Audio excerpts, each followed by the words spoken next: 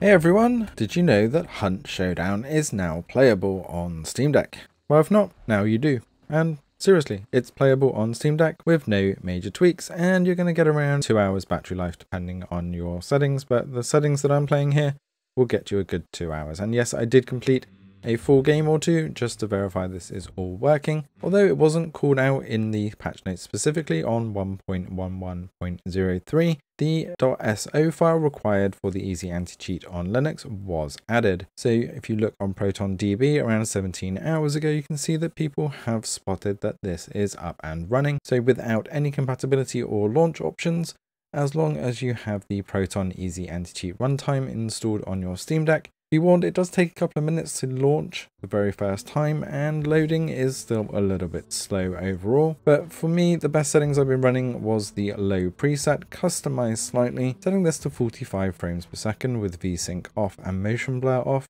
actually gave a phenomenal experience. It may not look the absolute best in game, but it is playable. And if somebody wants to inform us the best way to deal with these hive things so that you don't get instant death, soon as you come across one. I'm assuming you need a lamp or something to throw at them to set them alight, but any experienced players feel free to help us out so that you don't just die to the hive every time you come across one, as punching or shooting clearly did nothing. Something to note, if you are getting an error message around the current region being unavailable, this seems to be just a general issue. Go up to the top right where you see your region.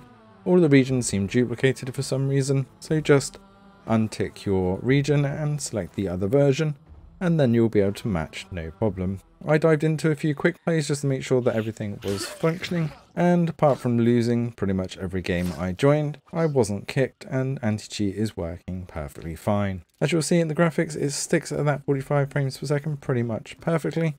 You get a few blips here and there, but it is perfectly playable. Hunt Showdown is a great game. It's a very strange mix of paranormal and kind of old west, and not a game that I'm particularly great at. I'll leave you with a bit more of the gameplay here though without me talking so you can get a better feel for the gameplay and performance. And let us know in the comments below if you're going to be diving into Hunt Showdown anytime soon. Thanks for watching and enjoy the rest of the video.